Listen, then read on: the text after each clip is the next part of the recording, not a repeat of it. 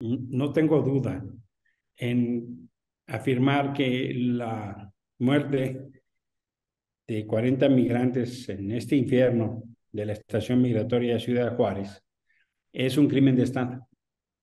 Si yo empleara una figura cercana, diría es el Ayotzinapa de Andrés Manuel López Obrador.